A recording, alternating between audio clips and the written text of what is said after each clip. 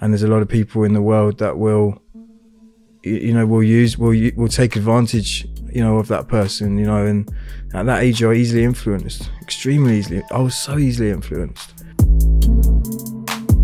Maybe I behave in a certain way or I do certain things. Now I actually understand, you know, why. And so I think that was a, you know, a big, a good revelation for me. Basically, what ended up happening was um, I was groomed and drugged and, and sexually abused by him.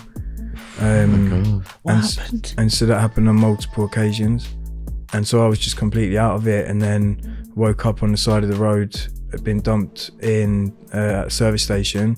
So I woke up, she's next to me, she's like going just crazy, like, you know, saying what had happened, telling me what had happened.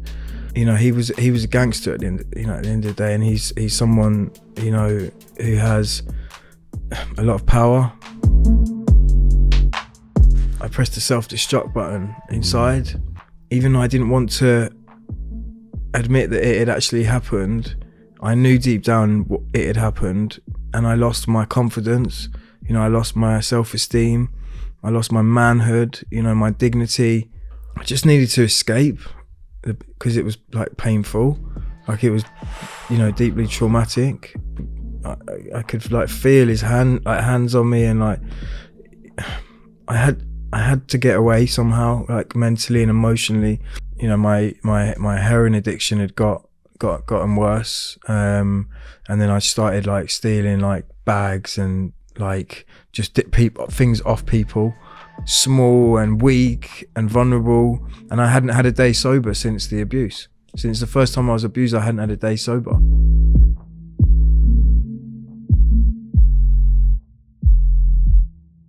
You know, God's using my darkness from yesterday to make other people's tomorrow brighter.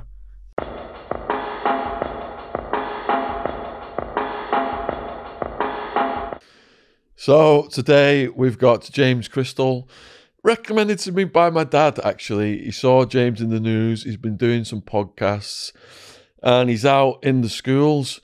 So it is a hard hitting story involving incarceration and crime. But even today, James has been at a school this morning. He's speaking to the government.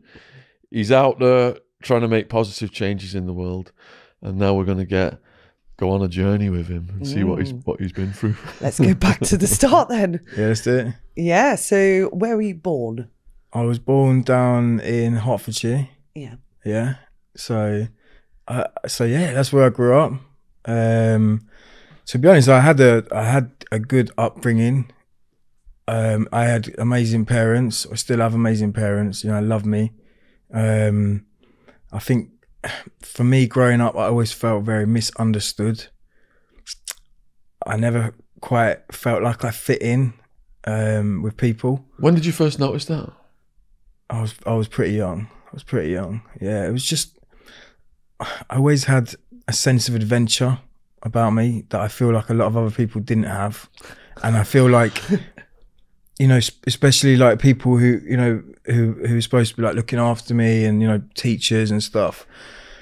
We just didn't see eye to eye with that, you know, and I feel like to some degree it to some degree they should have tried harder to try and understand me you know.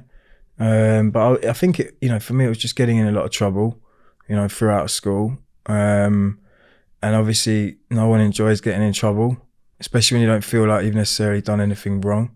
What sort of things were you doing? Do you, uh, uh, do you know the, my sister?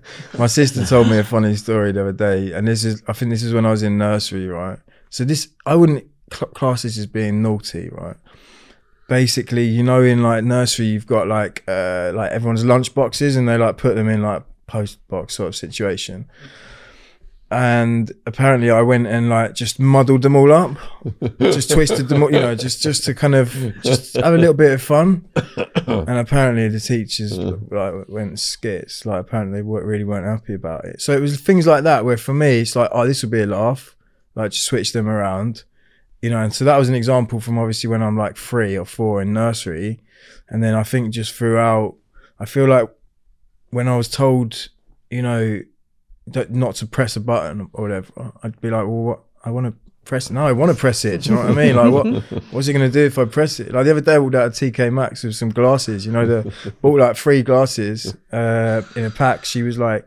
Bought them and the lady said, "Look, just don't twist them, like turn, like twist, turn them over because they'll fall out." So I'm walking back to the car and I'm just like twisting them. Do you know what I mean? Just to, just to see if they will fall out or not. Because like you need to make mistakes for yourself in life. You know, so like- you definitely had a bit of a rebellious streak. yeah, just a little bit of a rebellious streak. Just I just think I just wanted to have fun and explore and be adventurous. You know. Did you click up with some fellow rebels at a young age, or were you a lone wolf? I feel like I was quite a loner to be honest. Was ya? Yeah, I feel well. To start, I mean, talking like really young. Um, yeah, I don't know. I feel I just felt like I said that I didn't feel like anyone un- quite understood me. Like not just like teachers and you know people that were supposed to be like in authority, but you know maybe like my friends as well. I just felt different from them. Um, you know, and so it wasn't until uh, you know I was 15 and um, I was diagnosed with ADHD, and that was when I realized, you know, actually, yeah, maybe I am slightly like different, and this is the reason. Like, there's actually, you know, reason for the way that I feel, like you know, the way I feel, and the reason that maybe I behave in a certain way or I do certain things. Now I actually understand, you know, why, and so I think that was a, you know, a big, a good revelation for me. Um, yeah, it was helpful. So that was a relief. Yeah, for sure. Well, it must have been lonely before that, was Yeah. it? Did you have any siblings? Yeah, two siblings. Yeah, two Yeah. old, elder sisters. Yeah, amazing sisters. Oh, brilliant. Yeah, but I mean, just it, it- yeah, they're they're incredible. But yeah, again, just like like my parents are like fantastic. Like they're brilliant, and they just love me so much. But um, you know, and they raised us all exactly the same, and maybe the way that they the way that they raised me, maybe in hindsight needed to be slightly different from the way that my sisters, you know, were were were raised because because we're different people. Does that make sense? Um, but, you know, my parent, my parents are, you know, fantastic, and my sisters, they've always just stood by me and loved me, even when, you know, I was, you know, messing everything up in my life. Being a little shit. Yeah. what, what about having a career goal then as a teenager? Did you have a plan? I feel like I was kind of like quite inspired by like people who are making money. Um, you know, so in school I was always like that kid that was like buying like big packs of sweets, you know, and breaking them down and selling them. You know, I got a fake ID. As soon as I could get a fake ID, I got a fake ID and I was like buying big packs of cigarettes and, you know, selling them 50p each. And so I've always been quite entrepreneurial yeah. Um, you know, and then just like charging people like a pound to get them a bottle of drink or, you know, a, a packet of cigarettes. And then I realized that I could just steal the sweets rather than buying them. And then I'd just be like sweeping the shelf off into my rucksack and then selling them on. It was just little things like that. Um, but I feel like, I don't know, in terms of a career goal, I feel like maybe I've just always been quite entrepreneurial. Um, and I never, never necessarily had any, any aspirations, I don't think, in terms of a career. Yeah. Yeah. Wow. what led to your first brush with the law? Mm. Um, I think it was shoplifting my first ever one. To be honest, yeah, I think it had just like gone and just because it was so easy like back then to just like like- like I said like you could literally just sweep a whole shelf into your rucksack like literally, and uh, and then uh, for my age and I'd be able to go and sell all that you know make a hundred quid and I felt felt like a baller. Do you know what I mean? Like 100 quid's a lot of money when you're that age. yeah, Yeah. And so that was probably like my first ever. um Yeah, that was my first encounter. How Was did it you an get arrest? caught? Huh? How did you get caught? Yeah. I can't even remember. I think my I think I had, my friend actually got caught, Mm. and then they caught me at the same time. Yeah, Did they grass? nah, but it was just um, I can't exactly remember, but I think my friend got caught, and then I think just because I was with him, um, I ended up getting done as well, and they searched me. Did they take you to the station? Yeah, Yeah. yeah, What about when your mum and dad got informed? How did that feel? yeah. I yeah, it was kind of scary. I just did everything that I could to try and avoid um, my mum and dad finding out about stuff. But when you're at that age, you have to have a like a what do they call it? A responsible adult, is it? Pick you up. Yeah. So, um, yeah, I think for me, I probably just didn't want to like let my parents down. You know. Um, What was it like when they showed up? Um, it's probably just quite a lot of shame, even though they probably wouldn't have wanted me to feel that way. Just a lot of shame. Um, So did and- did you get chucked in the cells? yeah, I did actually. Yeah, Yeah. yeah. What was that like?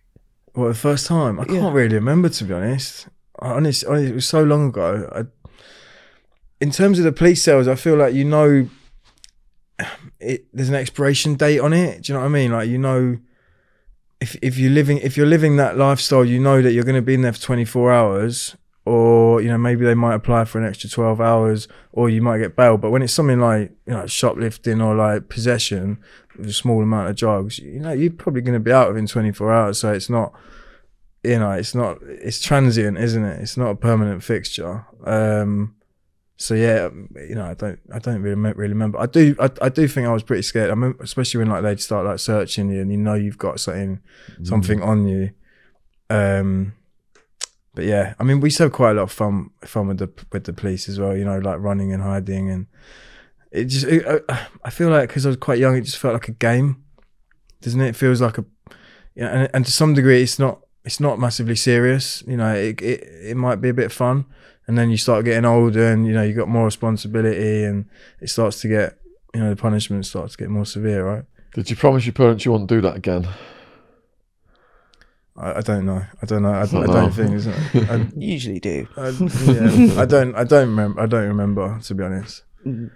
Yeah. Can you remember your second arrest? Um, I think it was possession of drugs. Weed. Yeah. Yeah, I think it was. How did you get caught? Um, gosh, it was. I think we were just like down the town park smoking weed, um, and then just like ran, um, like a long way. Just ran, got chased, and then the police caught us. Did they have dogs?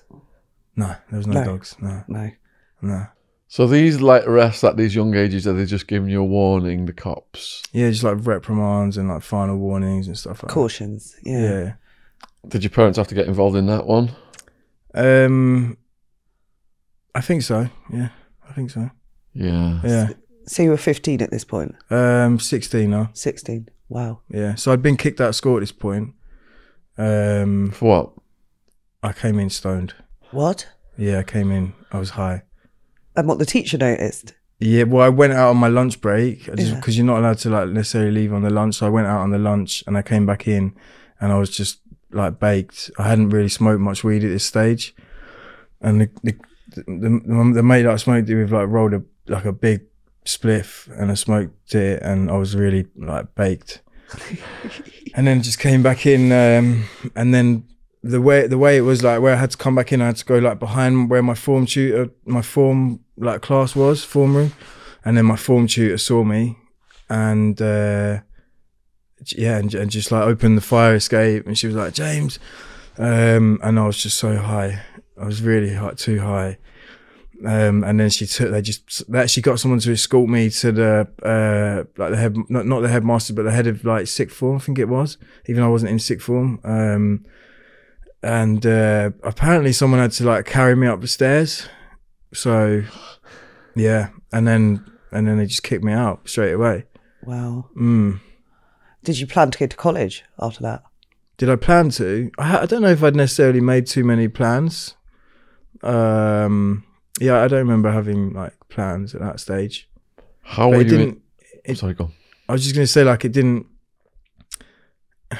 I don't think the answer is kicking people out of school, you know, necessarily, or kicking people out of class, you know. And I think to some degree that's the easy, the easy option, Mm. you know, for a teacher to do if someone's disrupting the class or, uh, you know, they don't know how to deal with them, you know, deal with their emotions. Often it's just easier to just kick them out, get rid of them. I don't think that's the right thing to be doing, you know, because ultimately what happened is when you push when you when you push someone out of that you know safe safe environment you're pushing them out into the world. And there's a lot of people in the world that will you, know will use will will take advantage you know of that person you know and at that age you're easily influenced extremely easily i was so easily influenced you know and, and then i started hanging around with people that you know i probably shouldn't have been hanging around with oh. How were you introduced to weed? I think it was just a transition from like starting like smoking cigarettes. Um, I think it's the same probably with most people, to be honest. Like it was just like cigarettes, and then smoking like and then like drinking and then you know it, the, the the the leap from like nothing to a spliff is not as big as the leap from just like a, a fag to a, a spliff, right? Right. And so I feel like someone just offered it to me. And like I said, I never 100% understood the emotions that I was feeling. I never 100% felt like I fit in, you know, to the people around me, you know, into my surroundings. I felt different to other people. And so, you know, when someone, you know, when I was offered, when I was offered that and I tried it, I was able to escape. I was able, able to escape, you know, um, how I felt, and Yeah. and you know, I guess it gave me to some degree some peace, um, you know, from the difficult emotions that I was feeling before. Uh, so yeah, so someone someone had offered it to me, and I think yeah, I think it just kind of calmed me down quite a lot. Um, yeah. so getting kicked out of school, what did you go on to next?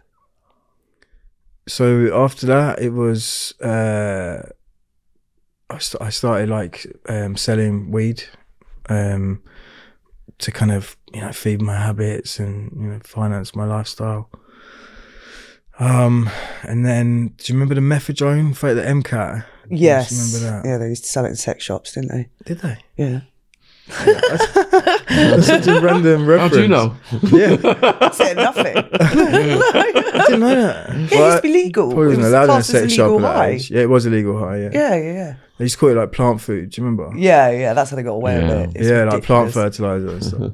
so I had a friend who was um, a a friend's brother who was uh, studied chemistry at Cambridge, and then he basically did, like designed the, the formula, well, not the but a formula for mephedrone. So mate was Um, cooking it up. So he was yes, but he he he made um, he set up like a lab, like a more like a factory to be honest, it's legal, right? So, and he had. Uh, you could go to Cambridge, you could ring this 0800 free number off a payphone, and someone would just come and deliver it on a bike, just like this, just exactly the same as you get Uber Eats now. yeah. Yeah, and it was cheap, and because I, you know, I had the, I, I kind of, I knew him through my friend, I was getting it just super cheap, um, like a pound a gram, What? selling it on for twenty pound a gram, um, at, you know, 0.7 or whatever, and um, and yeah, so I obviously started like selling that and making you know some, you know, money, which is you know a decent amount of money for my age, um, but then I was using it as well, They say you shouldn't use it. you know, Mm. you shouldn't you shouldn't you shouldn't use um your supply and yeah i think i've always had a very addictive personality i think maybe i still have to some degree but i've just channeled it differently now um you know and then it was just kind of raving and you know lots of parties and um and that was that was just the lifestyle that i was living at that time in time of my life And how old were you at this point? So at this point i'm like yeah 16 17 still. Yeah. Um and then things started to go downhill. Um so i some of the people that i was hanging around with there was some some older older guys as well. Um and then there was one guy who was like 40 That's a bit old. yeah it's weird isn't it? Mm.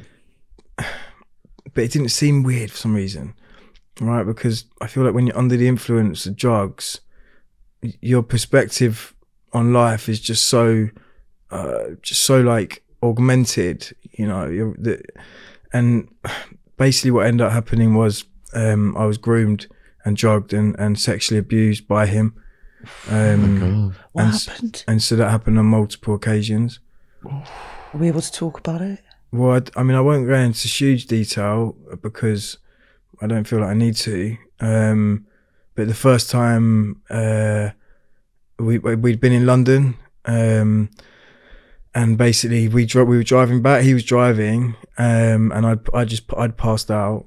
I'd been drugged. Um, I mean, I was taking like drinking and using already, but I'd taken something. You know, I'd been drugged, and you know, um, and so I was just completely out of it. And then woke up on the side of the road, been dumped in uh, a service station, with my and my my girlfriend at the time was in the car as well. So I woke up. She's next to me. She's like going just crazy, like you know, saying what had happened, telling me what had happened. Um, and that was the that was the first, you know, um, the time that something had happened, like where he'd sexually abused me. But you know, I didn't want to believe it. You know, So she was unaware. Of she what was in the back. happened. No, she witnessed it all. He was threatening her She in the witnessed back of the it? car. Holy yeah, shit. yeah. And but the f- the reason I don't, I have to, it's, I have to be. ca- The the guy was, um, you know, he was he was a gangster at the end. You know, at the end of the day, and he's he's someone you know who has a lot of power.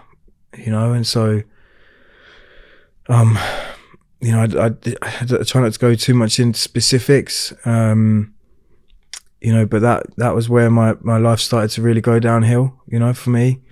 Um, We've got um, a legal requirement. So, because of the nature of what you just said, the police now are, are making me ask the guest the following Do you waive your anonymity on what you've just said?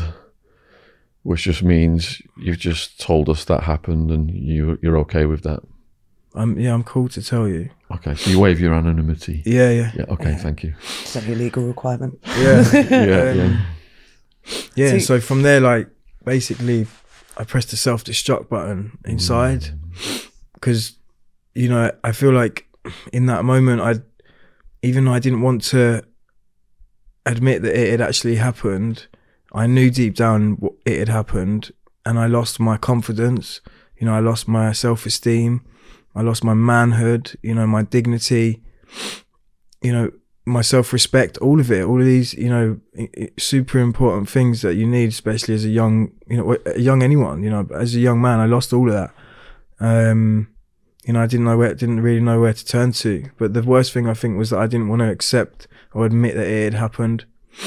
Um, and, and yeah, I think that was really hard, not, not knowing who to talk to or not, you know, not wanting to talk about it, you know. And so any, anyway, it actually happened on um, like multiple occasions, um, and obviously, I feel like subconsciously I probably didn't want to accept that it happened, but obviously after a couple of times, you, you know, I, I knew and I had to come to terms with, with what had happened. Um, and and yeah, that, I think for me that was where my life started to really go down downhill. Did that pushed you further into drugs because Exactly. you've got all this chaos in your head? I just needed to escape because it was like painful, like it was, you know, deeply traumatic. Um, you know, and it was just like disgusting. You know, like I, I could like feel his hand, like hands on me, and like I had I had to get away somehow, like mentally and emotionally, you know, from what had happened, and so I just uh, turned even heavier uh, to drugs. Um, you know, I feel like my life started to get more erratic around that point. I actually like lost a friend um, around the same time as well to um, to drugs, to, to the mephedrone. He had like a brain hemorrhage and, and died.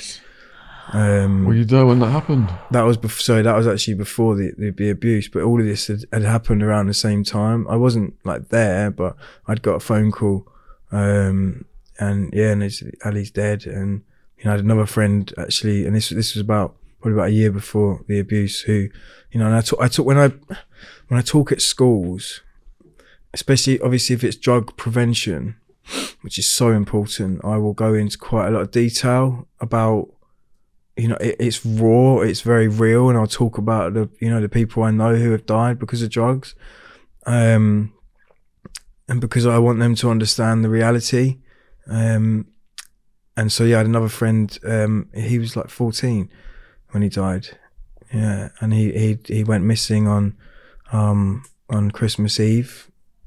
He went walked home, never got home, and then a search party went out and they found him you know, the next morning in, in a river, face down, dead. And and this is the reality of of you know of, of drugs and what they can do to people. You know, What do you think Yeah. had happened with him? Had he just got so many drugs he'd lost his way, or I think his body couldn't probably couldn't cope with with whatever he'd taken. They said that in the re- newspaper reports they'd said that he'd just been drinking. That's what his friends had said. You know, I know that he, I know that he'd done more than that um, in the days before, at least. Um, you know, even ketamine came into play as well, and so I think I think ultimately his body couldn't couldn't cope with it. You, you just you, I think one of the problems with like drug addiction is that you don't know that you have it until you know you have it. Does that make sense? Like that's one of the big problems. Like you don't know you have it until you try something, and it's not worth taking that risk. And I feel like for Jordan, um, you know, his body just couldn't couldn't take whatever had happened. I don't know exactly. Maybe he slipped on the ice and hit his head and fell into the river. I just don't know. Um, but that was so. Basically, what I'm saying is there was all of this stuff had happened. You know, all of this fairly traumatic, um, these traumatic events had happened all in quite a short space of time. And then, you know, the I think with the abuse, it just kind of tipped me over the edge. Did your girlfriend, did she know the abuse had continued after that first time? Uh, yeah, yes. Um, well, she, I, no, I don't know. She, I think the second time she knew about it, um, and then I, and then there was a, f- I think three more occasions, um, and I didn't, I didn't feel like I could tell anyone about it. Because you said you were groomed. What Mm. sort of things was he doing? Well, he, I mean, groomed in the sense that, you know, he would um entice you, like, Feed you loads of drugs. Yeah, well, but like uh, best way of, like describing it, but like he had like nice cars, right? He had money, and you know he was quite affluent, right? And so I feel like for young people, and he was prolific, but it wasn't just me. I feel like that in that sense he kind of groomed people, groomed young lads in by his lifestyle, you know, and then would get them on their own, and you know the rest is history. Has he faced the consequences of that, this person? So for me, this is and this is why when we discussed what we discussed, it you know, before we started, like, um, so for me, he he like threatened me and my family. He put a brick uh, f- through my parents' um, house. Um, you How did know, he justify that? Well, he didn't want me to say anything, did he? So he just put a brick through through your Yeah. parents' window. So what was this about 10 years ago, was it? Yeah, yeah, probably longer than yeah, a bit longer, yeah. But he Yeah. just didn't want me to, you know, he wanted to instill fear. He, he wanted to instill fear in me, and he did. You know, he he scared me to the to you know to the point of silence to some degree, and I didn't tell anyone really about it. Excuse me. The, you know, my mum and dad only found out um, a little bit a little bit further down the down the road when when my my life had completely fallen apart. Uh, drugs had completely taken hold of me and my mum and dad just so confused. Like they'd moved away um, at this point. They'd moved a bit further up north, and they just like rang my girlfriend, and they were just like, "What? What is going on? Like what? And we need to know what's going on." And she said, "Look, I- I'm gonna, I'll tell you. Come down, and I'll tell you." So yeah, they drove down, and she, she basically told them, um, and I was there. You know, she told them, she, you know, and she told me, you know, they need to know. Um, and and yeah, like she told them what happened. Because who were you living with at this point? I was just living on my own. Living on your own. Yeah. Yeah. So how did it stop then with that person? How did he, why did Oh, he it went stop? to jail. He went to jail. He went to jail for something else. Yeah, yeah. Right. I think he beat his neighbour up or something. Okay. Yeah, and then that was literally how it stopped. Yeah. Yeah, So because all he actually kidnapped me at one point. What? He, he kidnapped me at one point. How? Came Where from? my from my girlfriend's house. He, he came and he kidnapped me, put me in the back of his car, um, and and basically had uh, him and him and his I think it was his nephew could hear they what they were talking about. You know, um, what what they wanted to do to me, and then we got probably about ten minutes up the road, and I heard like the the car like slammed slammed to uh, like slammed um to, came to a stop, and I heard like screeching of tires in front of the car, and uh, my girlfriend's dad had had had driven followed them up, yeah, What? followed them up the road to like some service stations where they'd been pulling in, and like s- just cheep in front of the car Oh my God. and start, and then Can't started threatening him, told him to let me out. Thank God for that. Yeah. Christ. So was there a confrontation at that point? And that- He got me put. Like he let me out of the car and then just drove off. Did he give you a lift home? Oh, my the girlfriend's dad did. Yeah. Yeah, yeah, yeah. I was going to say. What? what kind of a sentence did this person get then? What from? He didn't get anything to do with me. I know, but what sense did he get? I don't know. I don't know. I don't think it was too long that one, to be honest. So all this going on, were you getting in trouble with the law at this point? Yeah, was well, I was still, you know. So what happened with me after the abuse? Um, you know, my like I said, my drug taking got you know more severe, and someone someone offered me some. Uh, this is like brown powder, right? I said, try some, try some of this. I'll sort you out, and um, put it on like some um, like tin foil right? So okay, she said like showed me how to do it and everything, um, and I did it, and uh, like one of the biggest mistakes I've made, you know, because it sorted sorted the pain out. You know, it's, it like worked, um, and then the I later found Yes, out, yeah, that, found out that it was it was heroin. So you didn't know it was heroin when you were I didn't taking know it was No. when I first took it that first time, Wow. and um, you know, from then I just I got I, that was it. There was no turning back. Like it's, I obviously wouldn't recommend anyone do it, Mm-mm. but for me, where I was craving that release and I was craving the the numbing of the the pain that I was experiencing, the emotional pain, it worked. You know, Self medication. and and and ultimately it was a self medicating. That is that. My problem was drugs. You know, my problem was always not wanting to be me. Drugs and alcohol followed. Mm. Does that make sense? And so you know, it was all self medication. It was all self medicating, and so yeah, when you know they give me some some of the some of the you know the smack. Um, after that, I was I was just hooked. Um, and then my crime started to get more erratic. Um, you know, and I, I don't I don't tend to like talk in like too much detail. Um, to be honest, but like I got done for um got a conspiracy to supply like cannabis. I mean, they're pretty minor charges to be honest, but they were like five uh, five counts. Um, and then so this is when I'm uh, 18 and then they uh, I went up I went and pled guilty to that um, they like took my phones from me um, which is like basically just taking away my revenue um, and I went guilty to that I got like a two year suspended sentence or something for that How did you get caught? oh, it was a bit of a madness um, do you remember when the Tottenham riots were happening Yeah, yeah.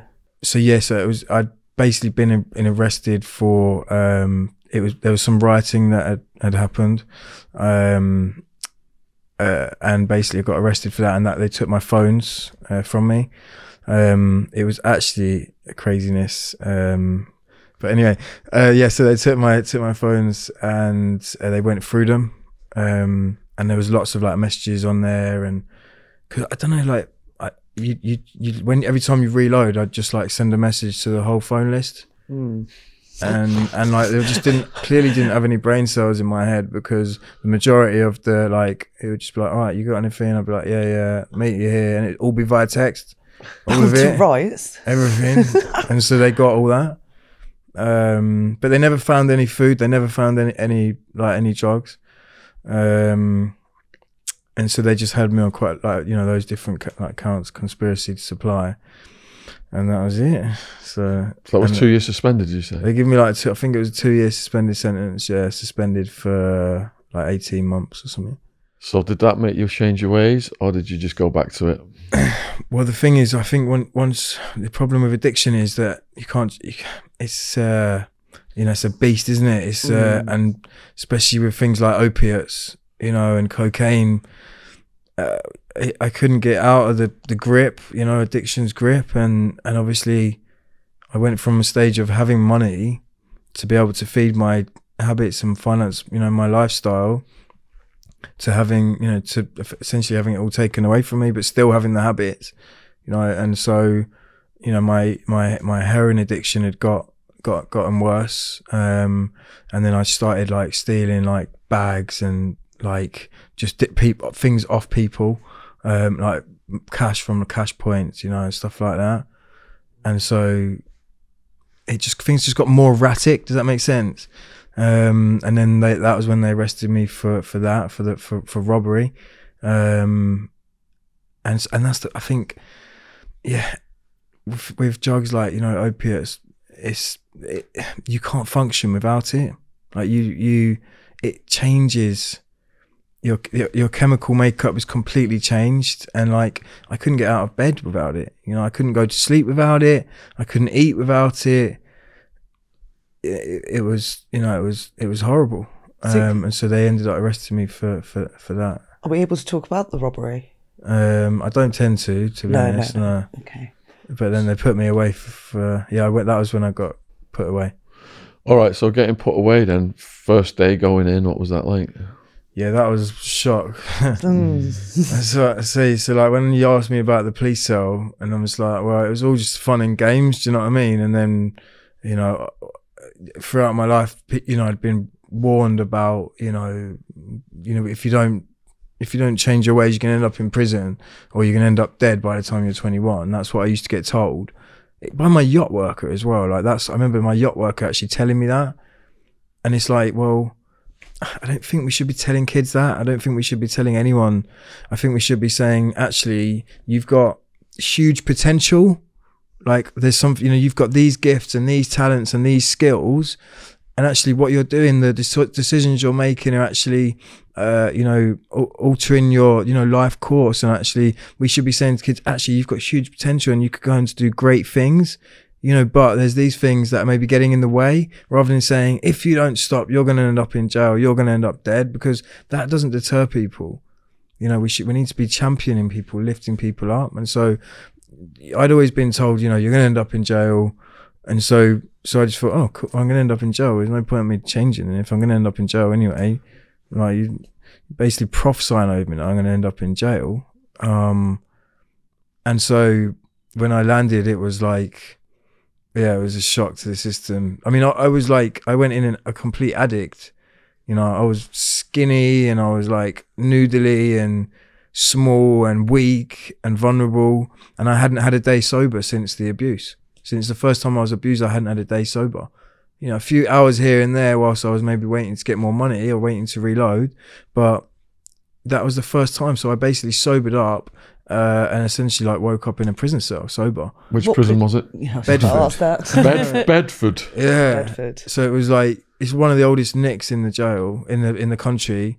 You know, super like old Victorian. You know, you've got cockroaches. You know, you've got rats, all that sort of stuff. Um, and it's cold, like, and so when you're going cold turkey, you know, you don't. I was in there with like this when I landed, this like big, big black geezer who was like just smoking weed and obviously had, you know, he he he was actually because I was a YOI still at this stage, so he was probably the same age, same sort of age as me, but I was just like, where have I, like, where where have I landed? There's people like shouting out the windows and banging on their doors, and then the milk, like the milk. I remember just like busting the milk open and just throwing up everywhere, like the Oh. UHT milk, disgusting, filthy. Um, so yeah, it was, and then I think, you know, like I said, one of the reasons that I didn't want to use the one of the reasons I used drugs and I used uh, you know different methods of escape escape escapism was because I didn't want to have to think about what had happened, right? And so when I sobered up, I suddenly had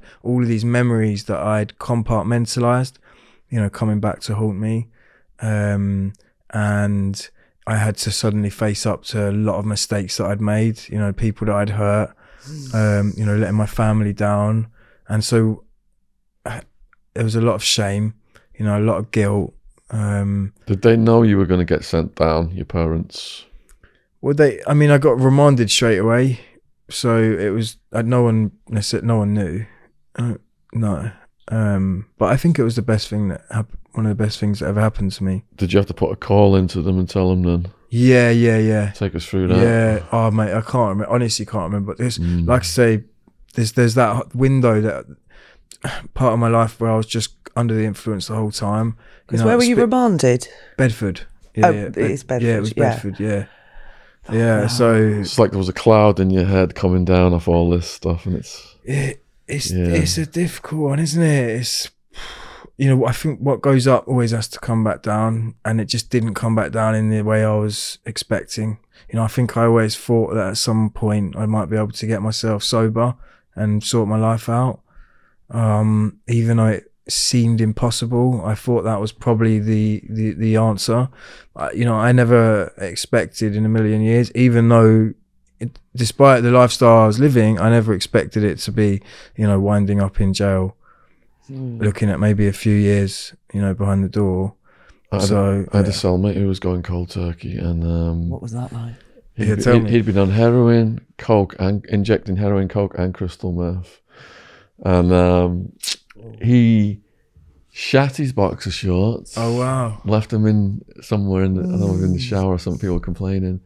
His hair was falling out, and he was sleeping with his eyes open, Oh, creepy. and he was just going out of his mind. And he had like abscesses all up and down his arms, like emu egg size abscesses up and down his arms.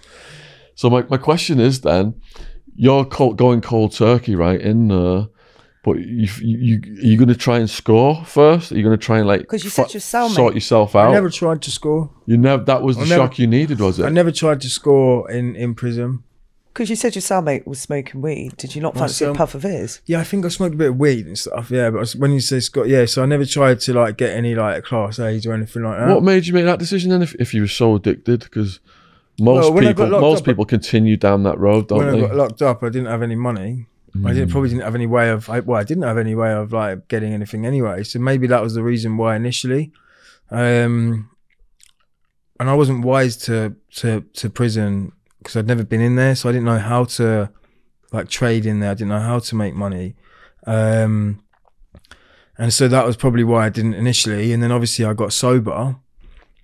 Um, and yeah, and I think you know as I sobered up and as all the drugs got out of my system, uh, I guess it was I just didn't want to go back. You know, I didn't want to. so were you done at that point with the hard drugs? Um, yeah, just well, not hundred percent, not hundred percent. What was it like cold turkey? How long did that go on for? Honestly, probably one of the worst experiences of my life.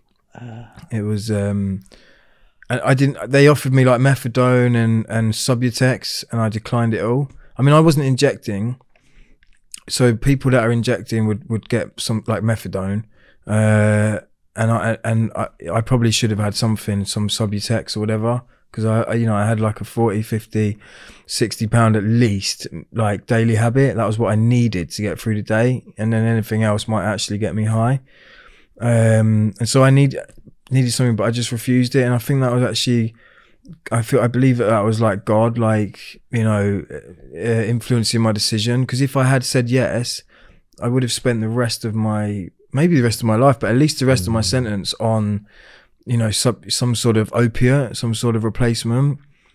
You know, and and the pharmaceutical industry don't make these drugs for people to come off of them. You know, it's just like it's replacing one drug with the other drug. And so, yeah, so I think that was, you know, I'm proud of that decision I made because I would have had to go cold turkey at some point. Just do it. Why not just do it at the beginning? So did you have the shakes? It was Struggling horrible. to sleep? Couldn't sleep. I was like tossing and turning. The, the geezer um, in below me was just getting so pissed off. Oh, We didn't he, we didn't scrap or anything, but I, he he was just getting so pissed off. And I had obviously when you go in, they give you like a pouch of baccy, um, and so I was just like smoking non-stop. It was like the only thing I had.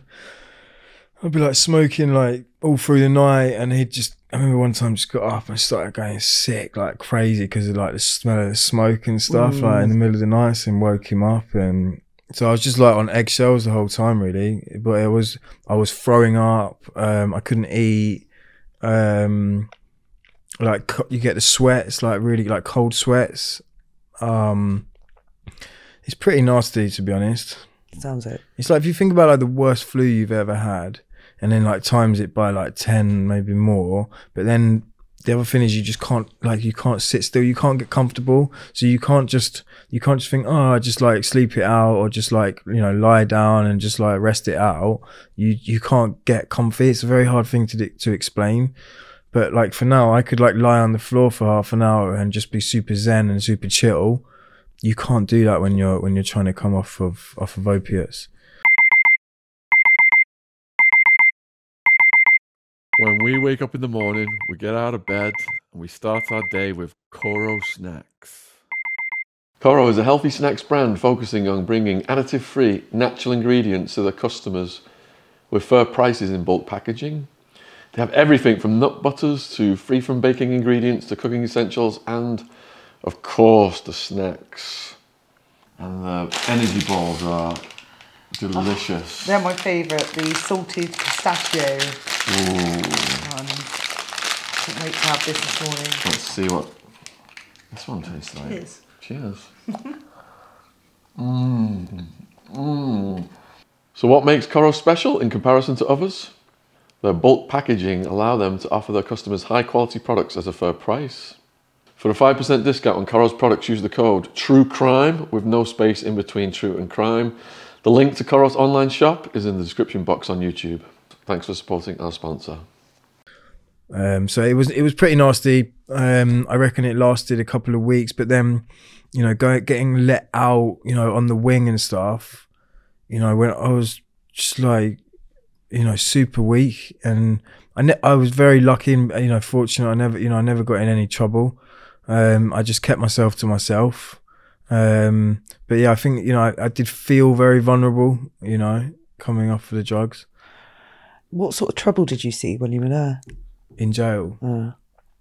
Because you said you weren't, you kept yourself out of trouble. Did you see yeah, much? d- to start with, I definitely did. Um, there was some. I mean, there was quite a lot of craziness. Like uh, as you know, like um, throughout. Um, trying to think. Like, I mean, in Glen, I was in Glen Parva for a bit. M- mentioned uh, before.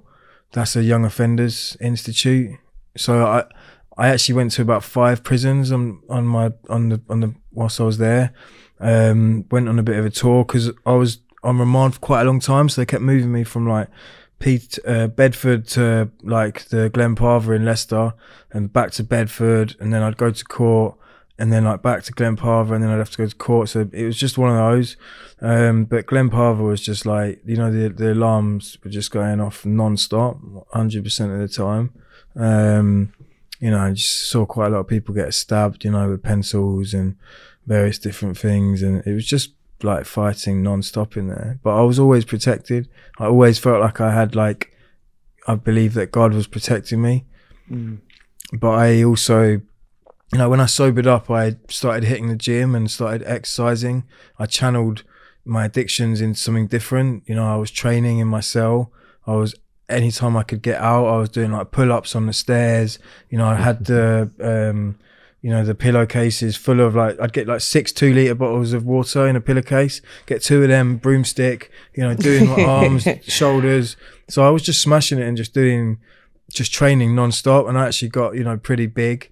Um and so that was how I that was probably really how I got through you know my time. Um you know later on there was some madness in Winson Green. I'll tell you about that in a, in a bit when we get there if you want. When we get Yes, to that please. part of my story.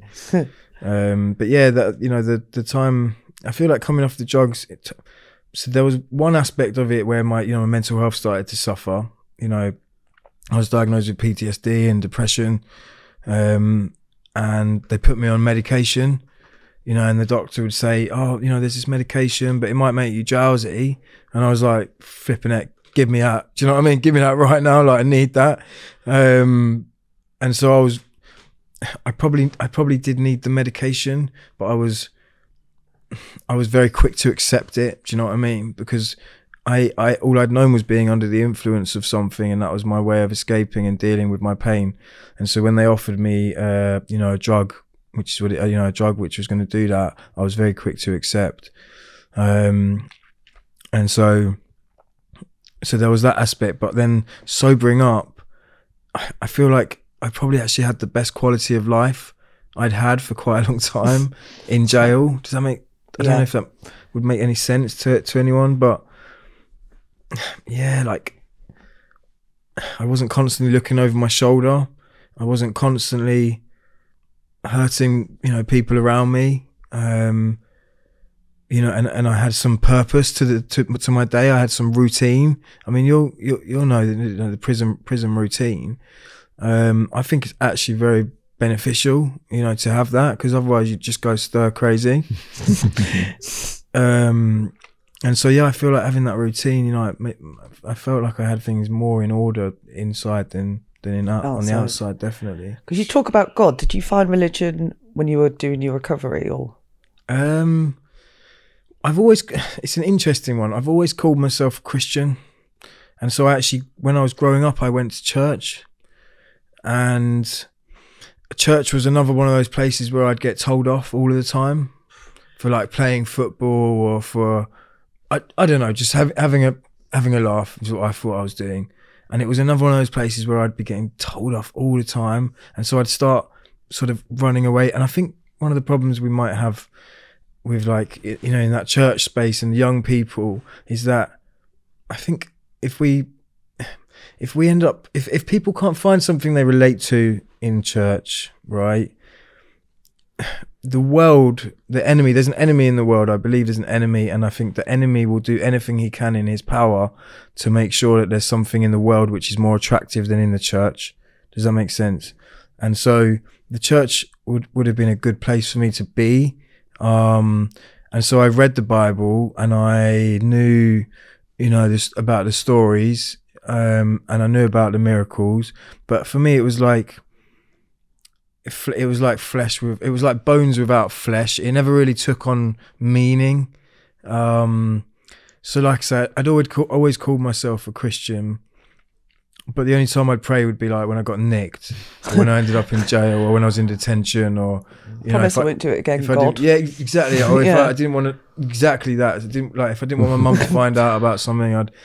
Just, that was these were the only times that I talked to God, and a couple of times actually like got away with stuff, and I thought, oh, he's he's cool. Like this guy, God is like wicked. Like he's on my side, but he is on my side, but not in that way. But um, so that was the only time I like you know talked to talk to God. Um, and then you know I found my faith a little bit further on, like after I came out of prison.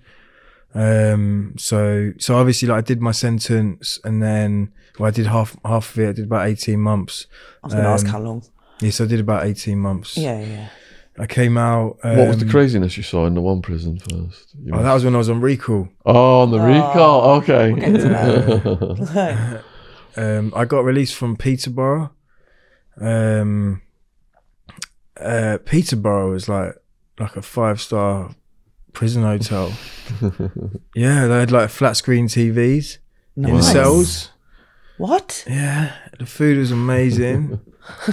um, it was like with like it was just yeah it was like we, they did like they did like ping pong competitions and then you did like the prize would be like like, like loads of big packs of sweets and chocolate for prizes.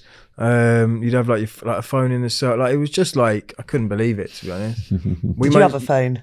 Well, no, but it, you actually I you actually had like a landline like What? that you're allowed like in the cell. To phone all your friends? to phone all your people and unlimited calls. Not you had to pay for them, but you know usually you have like three minutes a day or whatever it is. Yeah. You just have to get landline in the in the. You still have to buy credits, but it's, it's it was quite new to me. Like I'd, it was like it was a private Nick Sodexo.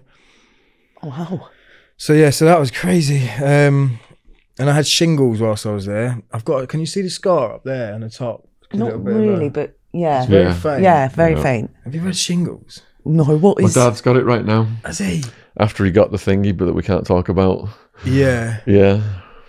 He he's got the shingles. It's painful. Yeah. He's just gone to Spain. He can't go out in the sun. Yeah, I bet. What, what's it like having them?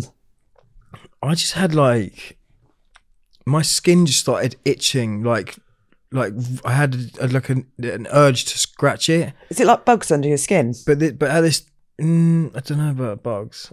Like little creatures? no, no, no, No, But no. I I just had this urge to scratch it, but there was nothing there. But it was in agony. It felt like it was on fire, but you couldn't see anything, and it was all my hairline. Um, and then like some of my face as well. And so I told the I'd actually been down the block at this. I was in the block in Bedford, and I'd smashed up my I'd smashed up the cell because I wanted to get from Bedford to Peterborough, right? So then they put me in the they put me in the block in in in Peterborough when I got there, put me back on the wing, and as soon as I got back to the wing, I started getting this pain.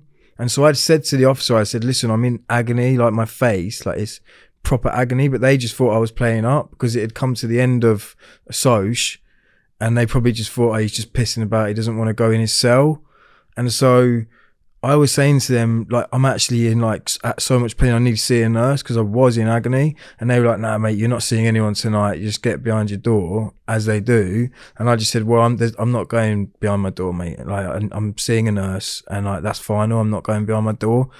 And so they obviously they, they give you a warning and then they put an alarm on and they all come in and they twist you up and then they sent me down the seg because once you get to the seg they have to bring a doctor to see you right you get a doctor visit once a day and you'll get like a chaplain visit once a day and so then the doctor had to come and see me and they didn't diagnose it straight away and I had like a um, a visit the next day with my dad like a, a visit they let me see him my dad was like oh maybe it's shingles so, my, so I went back to the doctor and I said, "Oh, my dad reckons it might be shingles." And he looked into it, and by this point, this it had started. It was like visible.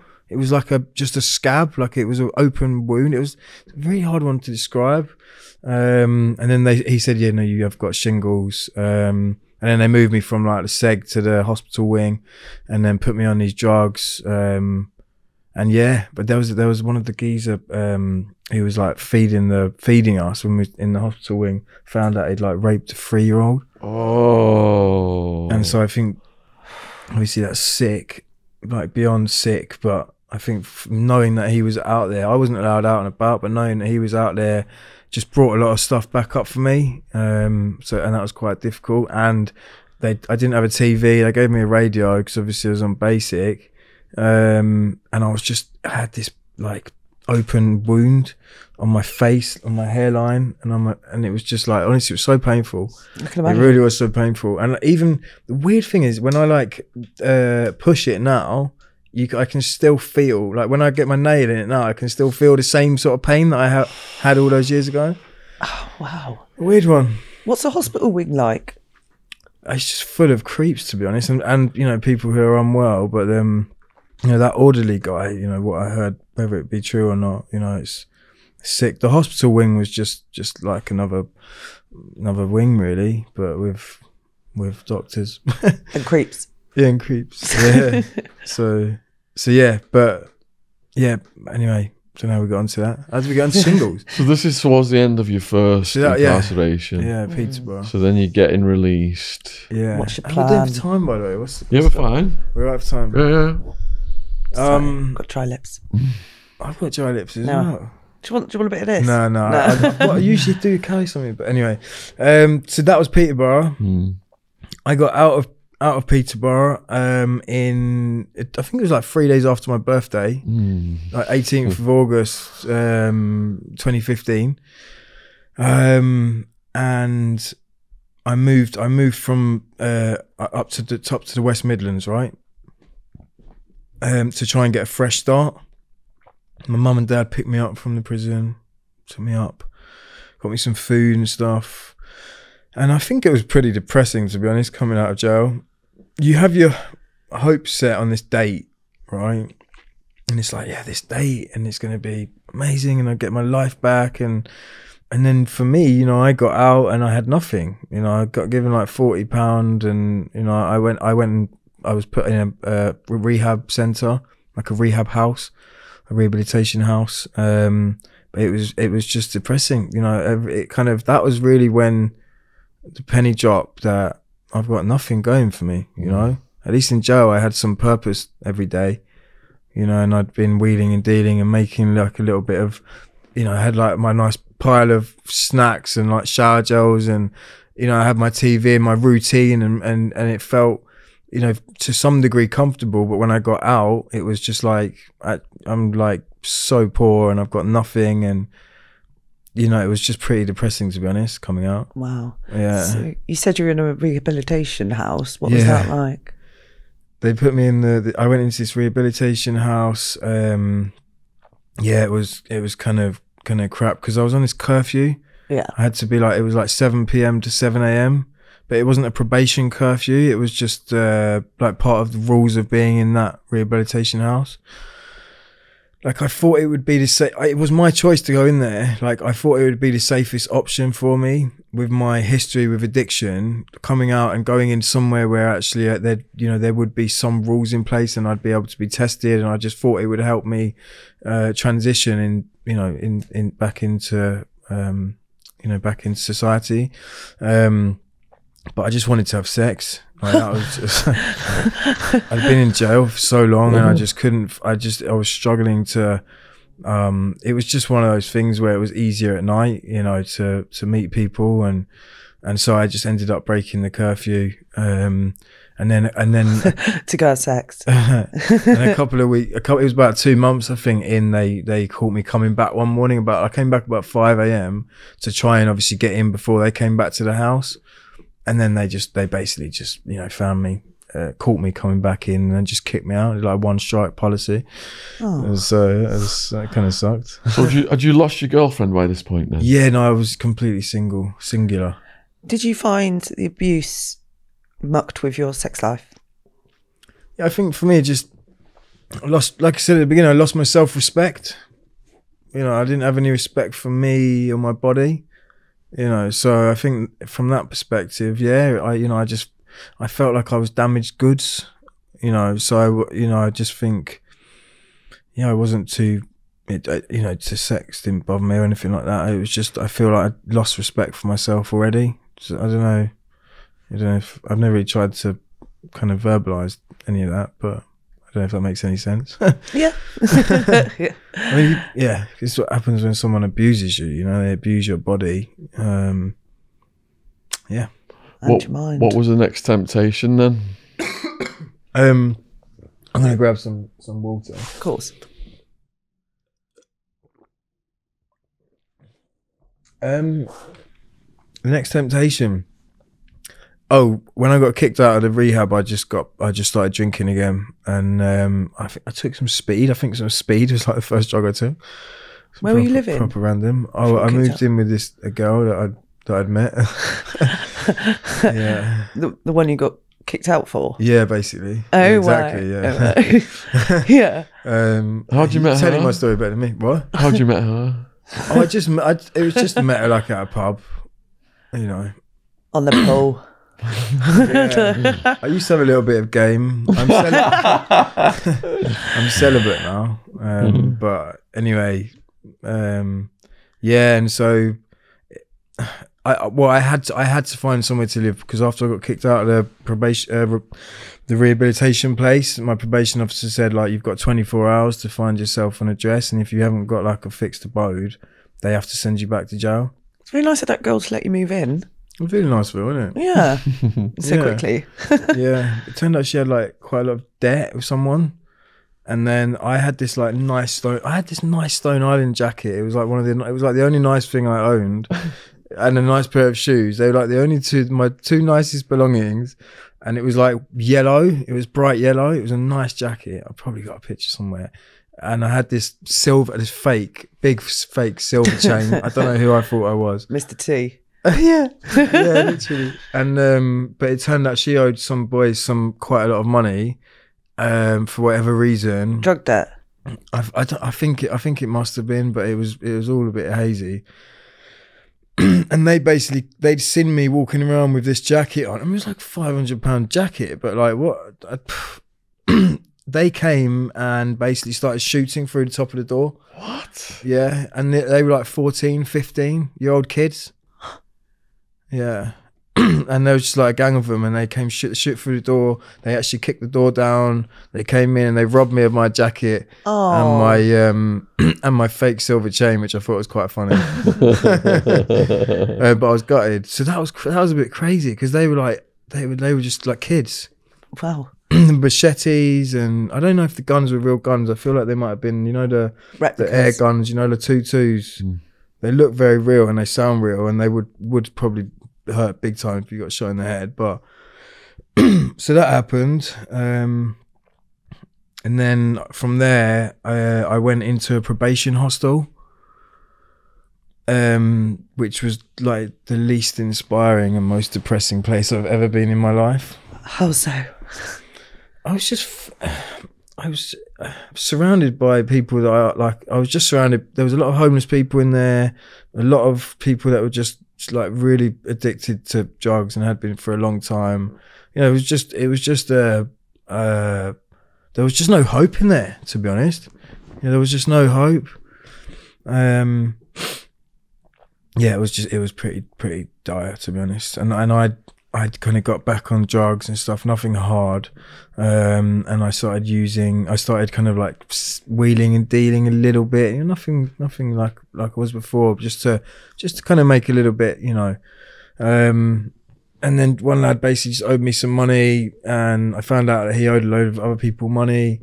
And so I just, I threatened him, um, and, like because I wanted to make sure I got my money because I knew how much money he was getting and it wasn't enough to pay everyone. And then basically next morning he he just snitched on on me and the other people that he owed money, and they just kicked us out of the probation hostel. and then um, so this was all a bit of a madness because like I'd really I was desperate to try and sort my life out, and I think this is just something that just shows how strong addiction is you know, um, and how how hopeless my situation was. Um, and so around this same time, I think it was just before I got kicked out. Actually, I found this. I found a church, which had just been uh, which had just been planted. It was a new church, and uh, yeah, like I went in there. My dad had told me about it, and he said, "Oh, it's this new church. Like, why don't you try it?" It was around the corner from the hostel, and uh, I went in, and and there was just an amazing energy in there, and I must have looked like a right idiot. I had like my trousers halfway down my ass, like my hat on backwards. I probably had some sort of fake chain on, um, and they just, they, I told them I'd just come out of jail, and they just loved me. They just, they just genuinely, they just loved me, and they uh, encouraged me and they wanted to support me, you know, and for, and for, I think for the first time, not for the first time ever, but for the first time of my own accord, I was surrounded by people who were championing me and lifting me up rather than tearing me down. and that's when I feel like I started to get inspired. Um, and that was ultimately probably my first encounter with like the Holy Spirit. Like, because there was that energy in there. There was something in there that was like drawing me back. Um, and so, you know, I, I started going there like on a kind of like a weekly basis. Um, but, you know, my life was, was still going downhill. You know, there was something about it that I liked, but I was still using and I was still, you know, drinking and all of this sort of stuff. Um, and eventually I got recalled back to jail. I failed a drug test. Ah. Yeah. I failed a drug test and uh, I went. I had the drug test and then I went back to probation a week later. And I, I went in and she was like, "Oh, um, I'm James. I'm, you failed your drug test and you're wanted for recall to prison." And I was like, "Oh, right." And I was like, "See you later then." just like darted out, just went on the run. Went to Sainsbury's, dyed my hair blonde as you as you do. if you, if you, yeah. Um, and and and that was it. I just thought I'm going on the run. I don't want to go back to jail. Like, and um, I think it lasted about three days to be honest. And then my conscience kicked in. Yeah, my mum called uh, called me and just you know just said to me, you know, you can't be on the run. You know, run run forever. And um, where were you hiding out? Um, I was hiding out in another um, girl's girl's house. so yeah, yeah. Um, and yeah, and so it was only a few days, and then I went and handed myself in. I kind of got parceled up, prepared, um, and it was really funny. You know, it was like I went to this police station, and I said I went there and I said, "Look, I'm wanted for recall to prison." And the lady was like, "Oh well, I'm sorry, sir, but there's no like police cells here, and there's no policemen here either." And I was like, "Oh right, okay." On your way. So, I'm just thinking, what is going on? Like I've I've come here to have myself in. I just presume she'd like press a button and they'd all like, you know, run out, whatever. And she's like, yeah, you're just gonna have to sit down there for like a bit, and I'll try and get someone to come and pick you up. So I was just like waiting for about two hours, going like in and out, in and out for like smokes. Just the whole time thinking, do I do I stay? Do I go? Like knowing that I'm going back to jail, I don't know how long for. um, but I think sometimes, I think often in, in, in life, you know, the the best decisions are the hardest decisions. You know, the the hardest decisions are the right decisions. Does that make sense? And it was one of those where it was the right decision to to hand myself in, but it was also the hardest decision in the moment. Because Um, being as how well you came off the drugs in the first sentence, did you Mm. not get tempted to think, actually, this will sort my life out? Say that again. Going back to jail would sort your life out to stop you using. Did again. I think that? No, I didn't think that. No, No. no. No, but it did. You, it did though. It definitely Yeah, did. You know, I think getting recalled then was definitely a lifesaver. You know, um, and so yeah, I got recalled, and they gave me like a release date. It was about would have been about three months.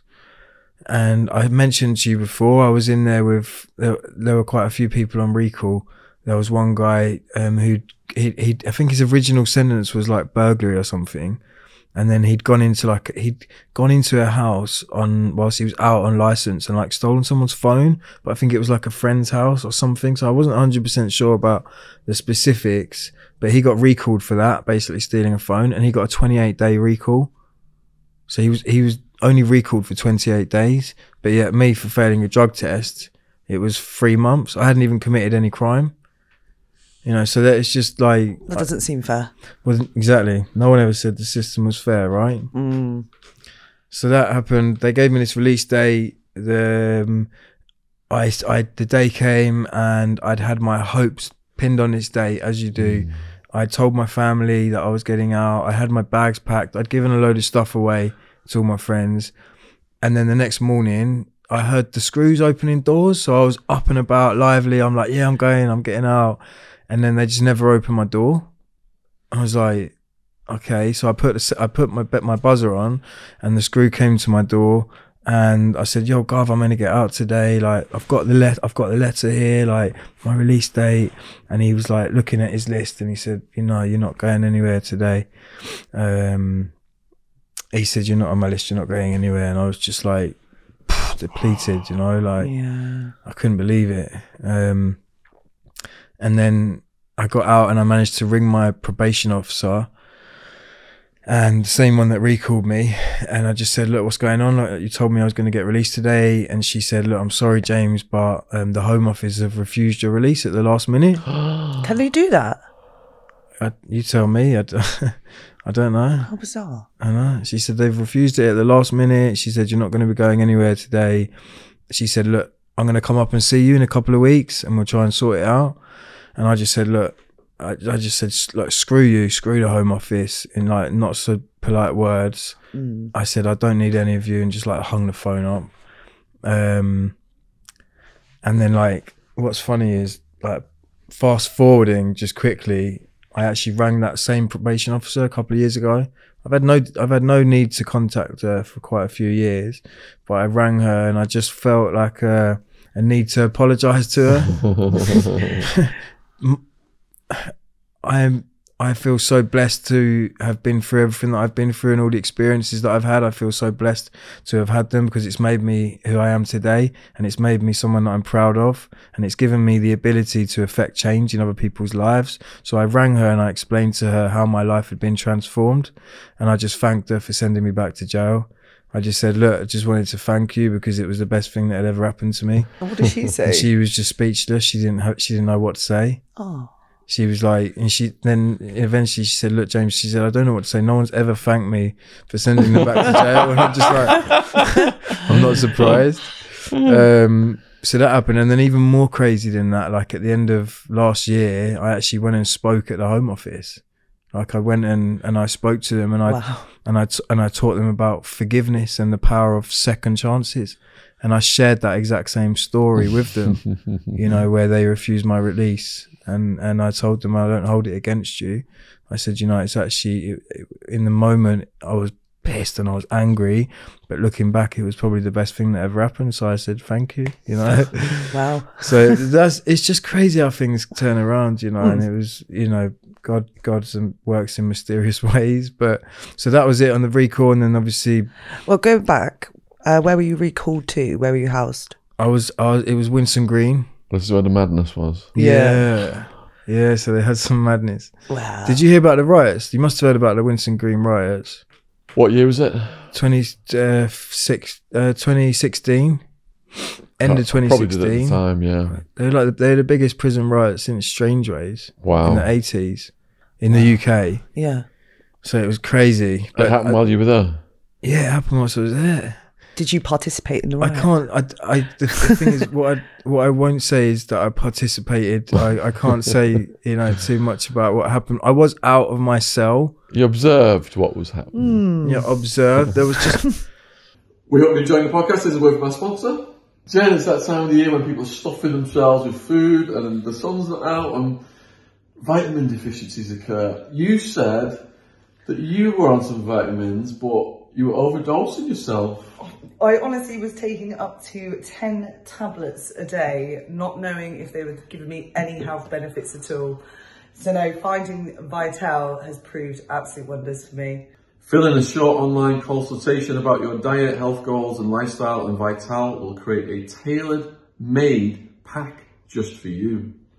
To get a free two week trial of personalized vitamins, head to vitl.com and use the code Shaun, S H A U N, at checkout. Link is in the description box below this video. So, Jen, how easy is the Vitl website to use? So with a few simple steps, it can tell you what you are lacking in nutrients.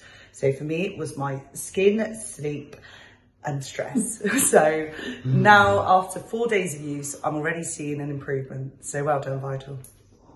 Thanks for supporting our sponsor. Now, back to the podcast. There was there was quite a lot of you know craziness that that went down. Um, and I, I was actually um, called after I got out of jail because they happened about two weeks before the end, right at the end of my license. So after the after the rights, they moved me to um, Oakwood, and then when I got out, a few months later, the police got in contact with my with my dad somehow. My dad rang me and he said the police are looking for you. Like they you're not like wanted, but they want to talk to you. And I was like, all right, okay. So I got he gave them my number and they rang me and they just said, look, we want to, we need to interview you.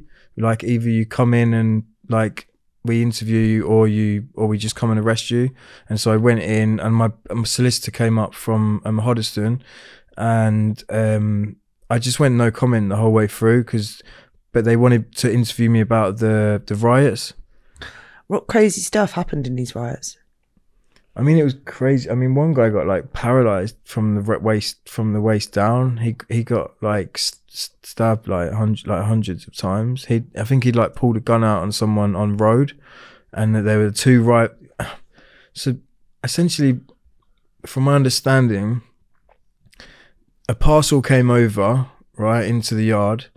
The screws got the parcel, and then started like flaunting it, saying, "Ah, we got your parcel." Da da da da da and the the guys the guys weren't too happy about this, right? And so they um some someone um a couple of the, the boys stole the screws keys, got him and, and took his keys, and then went and just unlocked everyone on their wing. And then by this point, because there's so many people out, the guards are on, on outnumbered, they had to retreat. But the keys weren't just for that one wing; it was for the rest of the jail as well. You understand? So they actually got off of their wing. They got into like the office, the med hatch, like every just every they they had like all access, like access all areas, VIP, and uh, they got off of their wing. But the problem was that they had the two, so they had they had two L-shaped wings, and they had one gang on here and one gang on there. I'm not going to go into specifics about like who you know who the gangs were, but they were two big rival gangs, the biggest in the area. And so the thing is, they they had the keys to all of that area. So when they went they went off their wing, opened the next wing, and then they went on to the other side and started opening those doors as well.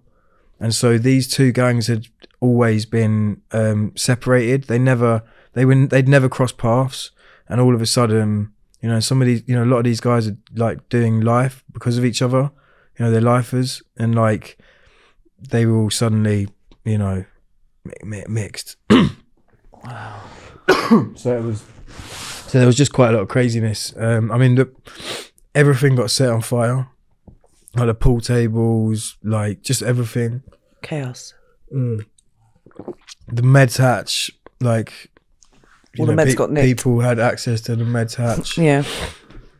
there was like a safe full of like stolen phones and like um just like you know things that have been um take like what's the word you know things that the screws have taken off Confiscated. confiscated yeah sorry i think something went down the wrong hole What about sex offenders? Did they get get access to them?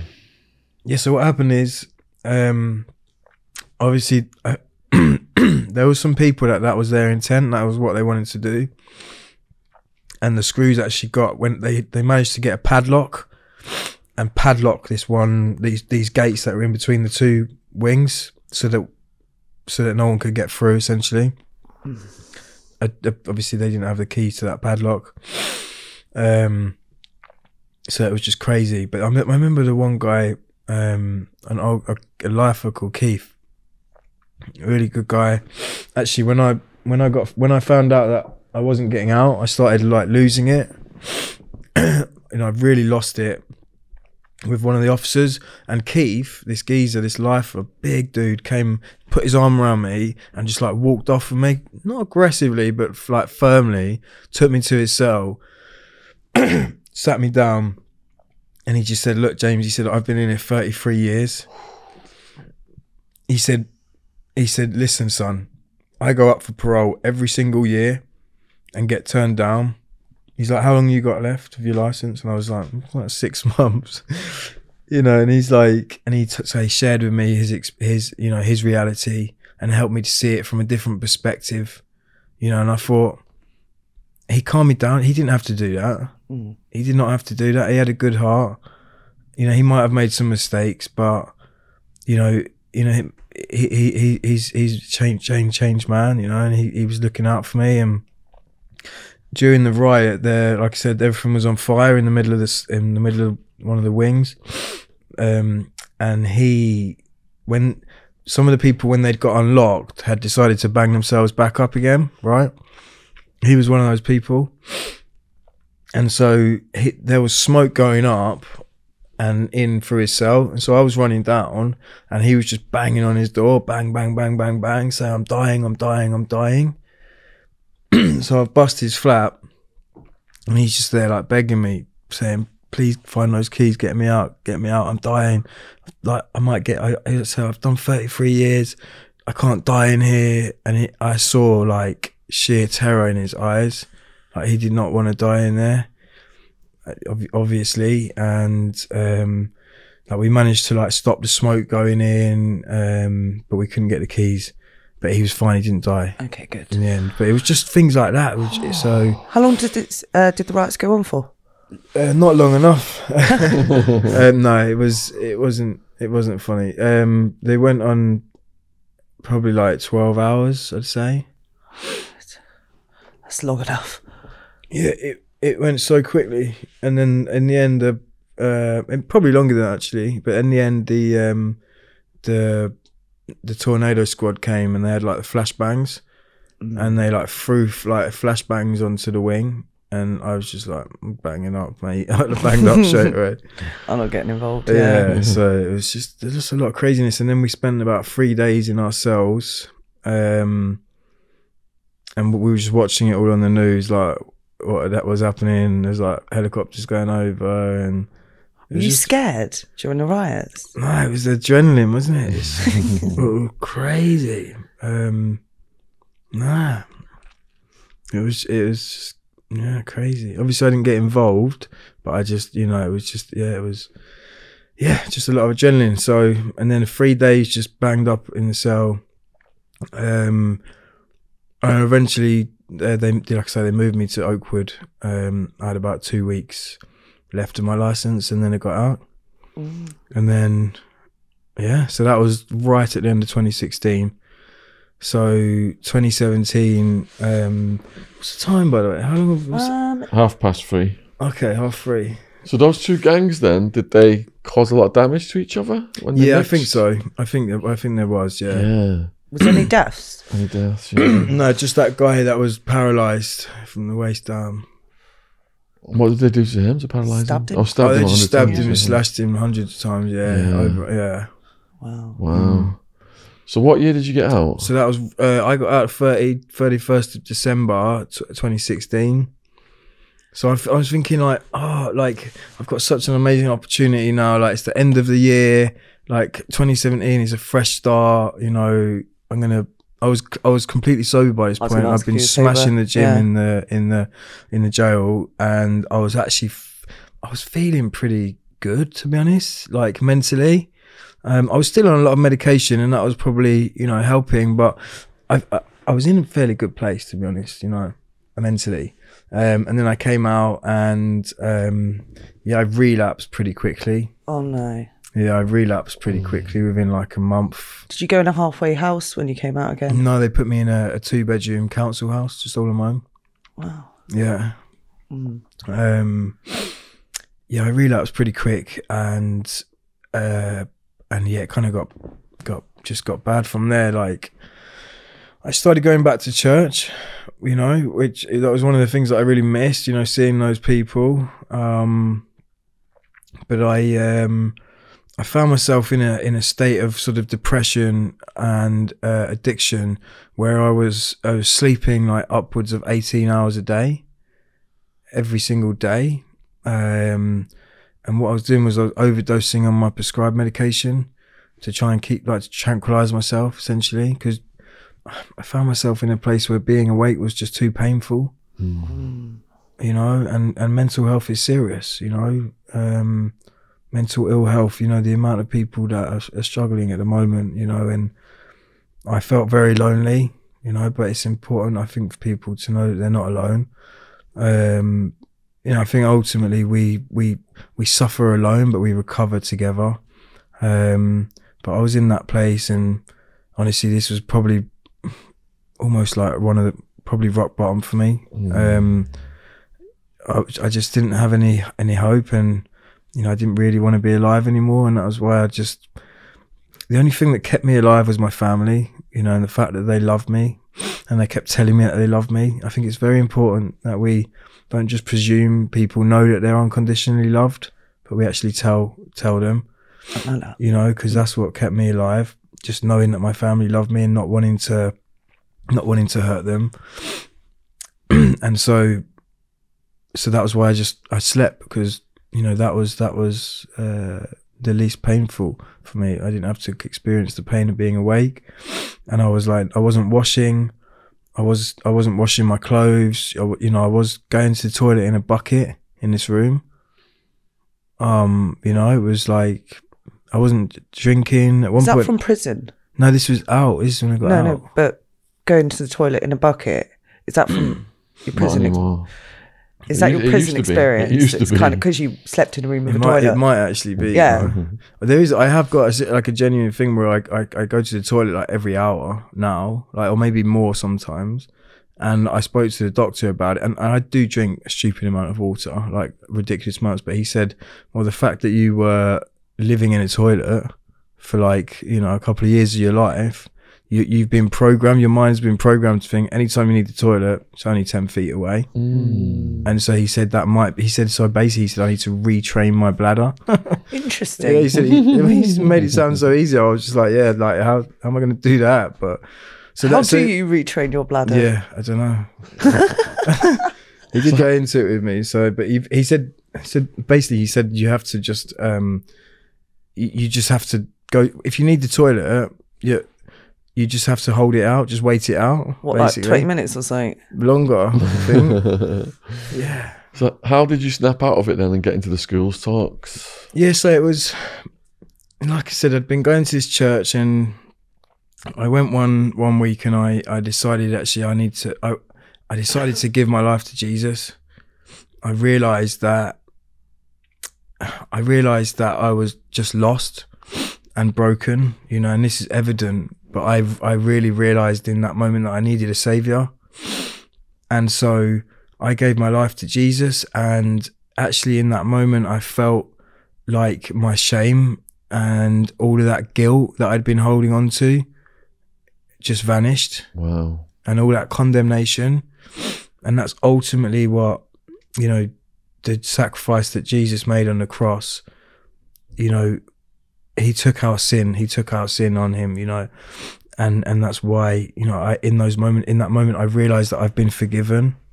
I truly knew that I've been forgiven of my sins, and so in that moment I also you know, around the same time realized that my life had gone steadily downhill after the abuse. So if that's the abuse, my life had gone dramatically downhill since then. And I'd been living below the line of power. I'd been blaming, you know, what had happened. I'd been, you know, making excuses for where my life was at based on what had happened in the past. And, you know, I, I ultimately was holding on to a lot of hatred and a lot of resentment and, and, and anger towards towards my abuser. And uh, I realized he had a lot of power over my life, you know, and so I knew that I had to move on. I knew that I had to forgive him if I was ever going to get anywhere in life. Um, you know, because ultimately the unforgiveness journey looks like this: someone hurts you, right? You hold it against them. It doesn't affect them in the slightest, but it kills you inside. That's literally like the unforgiveness journey, and so you know, it wasn't affecting him, but I was spending all day, every day, thinking about how am I going to get him back? What am I going to do to him? How am I going to find him? And thinking about how much I hate him and how much he destroyed my life and blah blah blah blah. But that's that's not getting me anywhere. That's not helping me get move forward in life, is it? And progress.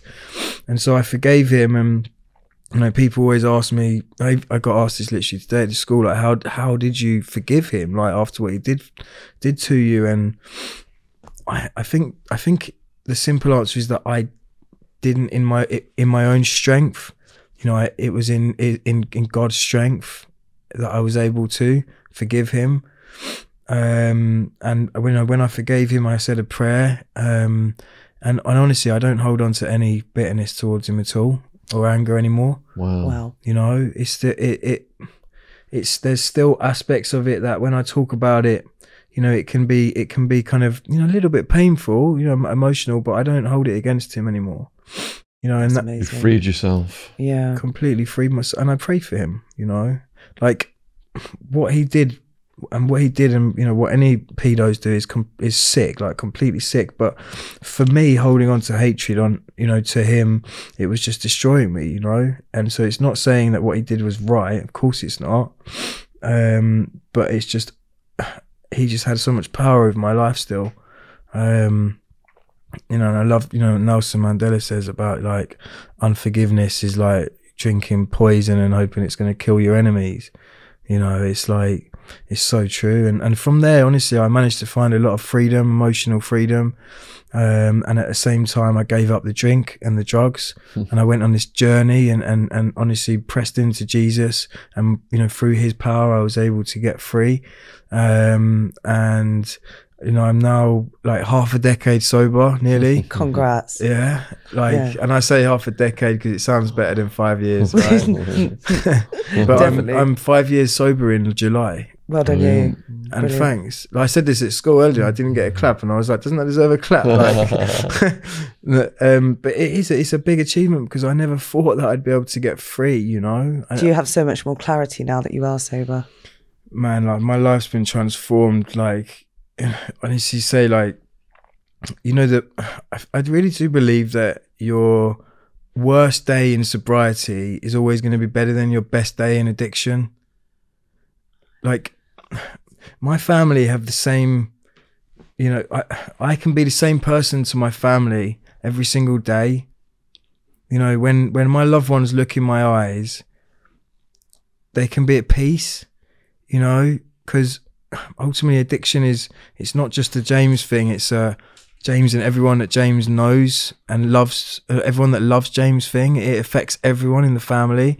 Um, and so yeah, when they look at me in the eyes, they get the same James, you know, every single day, and it's that con- consistency and that continuity. And you know, I was able to, you know, channel. I'm addicted to Jesus now. Like honestly, like I, you know, I ev- anywhere and everywhere I go, I, I tell people what He's done for my life because some a lot of people will won't won't believe in Jesus, and that, and that's their prerogative. But what you can't deny is what He's done in my life and how He's transformed my life. Of course. And so, You are absolutely glowing. Yeah. What was it like going to school for the first time? back in uh, uh, amazing, man. It was Were you nervous? honestly such mm, i don't think so I, I mean moderate like moderate nerves but nothing like major um And did it resonate the talk right away? Did they react? yeah they do you know it's i you know it's a big responsibility i think you know and it's a responsibility that i don't take lightly. Um you know it's, it's but it's such a privilege you know being able to talk to them as you'll know. Um but they do they i think yeah as soon as you start as soon as i start talking about like prison or whatever you've got their attention Mm-hmm. you know. So i usually you know i can't remember exactly what i said earlier but you know something along the lines of like you know not necessarily planning like outcomes too much and being in prison six years ago and not really realizing that in six years time i'd be sat, stood in front of you. Or something along those lines and then immediately like you've got their attention. Yeah. um and and it, it's it's amazing you know like i had a kid come up to me earlier and he just you know was shaking my hand and he said you no idea how helpful this was. He said thank you james. How thank you james and i'm like this like this, this is what we do it for right like i just think it's beautiful that you know god's using my darkness from yesterday to make other people's tomorrow brighter you know i'm just like that's amazing to me you How, know. how can schools reach out to you then to get you to do a talk? uh, through LinkedIn, maybe. Um, contact me on LinkedIn or e- they could email me, uh, james at belive.org.uk. So we'll So- put all the links in Yeah. below this video. So if Yeah. people want to reach out to you to book you for talks. Yeah, it'd be cool. Yeah. So And are you on the socials? I'm on socials a bit. Yeah, you can uh, you can plug them underneath as well. Definitely like follow the charity word, that my charity stuff. Um, BeLive, um, and then my clothing brand Everse as well. Oh, really? So yeah, like follow Get that one quiet. Yeah, I know. usually like I feel like like I said usually when I talk we touch a little bit on the past and then like most of it will be like on like present and future and like my ambitions and hopes but it's all cool like I think it's really important for people to understand their um that there's a story behind you know every person What, And this what is are the you on? work. Sorry, carry on. I was just I actually went and spoke at the police force, the same the same police force that um they they weren't the ones that put me in jail, but one of the places I used to commit crime. It was Cambridgeshire Constabulary. They Wow. and I went back. They invited me to speak to them, and I got paid. Like I actually got paid to go and deliver a talk to the police, and it was like honestly the most surreal experience. And it was on Zoom. It was on Zoom, which was a shame. But when I got on, mate, um, you know, like how you click and then it like lets you into the room, and I could just see like Roku, soccer, like, and I, and my heart started. This is like the so nervous. My heart started beating out of my chest, and I suddenly thought I was being stitched up. I suddenly thought, oh, they want to get me on in here to talk, so hopefully I reveal something, and then they're gonna like nick me. I was so scared, but then I just thought I need to crack. I need to break the ice. I've got to break it. So I said to them, um, I, I said, I said, listen, this is quite emotional for me. I said, I said, I spent my teens getting chased by you guys. I said, you were never any good on foot. I said, it's, I said, you was never very fast on foot. You could never catch me. But as soon as you got that chopper out, it was game over. And I just sort of cracked, you know, broke the ice. um, but honestly, that was a crazy experience talking to the, to the police. So, what are your goals? What are my goals? Mm. I guess the main thing is to um help. I want I want people. I, I hate the idea of people being hopeless. You know, I hate I, I hate the fact that on average, nineteen people a, a day lose their life to suicide in this country. You know, I think that's not. It's not. It's definitely not something that's spoken about enough. You know, and the fact that at least um, you know, one in four people are battling with their mental health right now in this country, and it's still so stigmatized. And I hate the fact that some people feel like the only option is death, you know, to take their life. Mm. You know, and that that makes me quite emotional. It makes me sad. And so I really, you know, through, through my through my work and and and you know, I've got lots of goals, but I feel like that's got to be the main one. Like, I don't want people to die. I don't want people to to to feel like suicide is the only option. I don't want people to feel like they're alone. You know, I had an ama- ama- am- amazing encounter with someone um, who had come across my work on LinkedIn because LinkedIn is the main the main social media platform I use, and you know, he'd said that before he he he was suicidal. He was at the end. You know, this is a, a, a businessman. Um, you know, and he said he, he he came across my post after he'd written his suicide letters. and he saw my post and realized in, in that moment that he wasn't alone. Wow. Wow. He realized there were other people going through similar things, and it gave him hope. And he hmm. started like following me. He started looking back at some of my other posts, and he'd been thanking me for a couple of years, like sending me long messages, like just thanking me profusely. And I was, like, I'm thinking, like, why is this guy thanking me? And then, but I met him a couple of weeks ago. It was, and he just said, he just said, with if it wasn't for your life, James, I would be dead. Good grief. Wow. And and at the end, he said, he said, he said, if it wasn't for you, my children wouldn't have a father. And I and it was so emotional and it was so surreal, but it just gave me that motivation that I needed to to to keep going, to keep doing what I do. Um, you know, so I think ultimately that's my goal to be a vessel of hope. Mm. You know, whatever situation people find them in, there there is hope, and you know, my hope's found in Jesus, and yeah, that's what I believe. You So- are a true inspiration, Dave. Definitely, so powerful, man. Honestly, Yeah.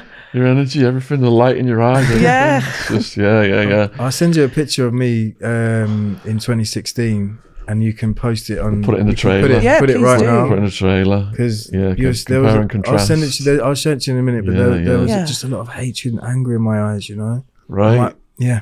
So, Wow. if you've been enjoying this as much as we have, please let us know in the comments. All of James's links are in the description box below this video if you're watching it on YouTube.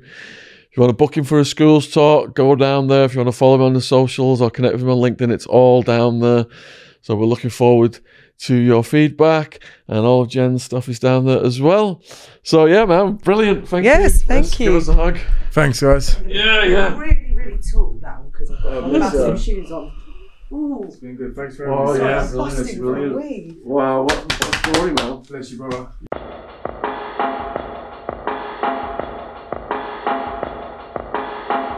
This podcast is sponsored by Gadfly Press. We are proud to announce the publication of Britain's number one art forger, Max Brandrett, The Life of a Cheeky Faker.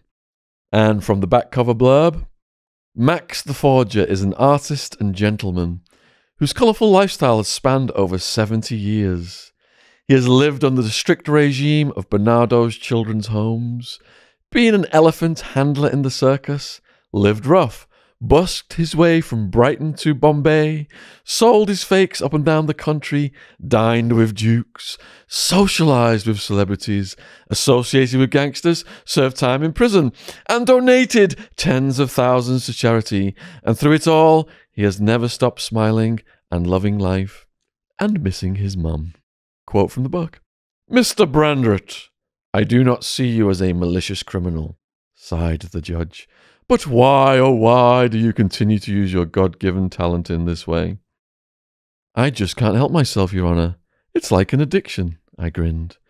Available worldwide on Amazon, link in the description box below this video. Thank you for supporting our sponsor.